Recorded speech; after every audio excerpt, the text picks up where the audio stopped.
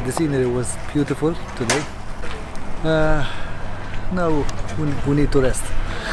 The bike has some small issues on the first day but now it has been fixed.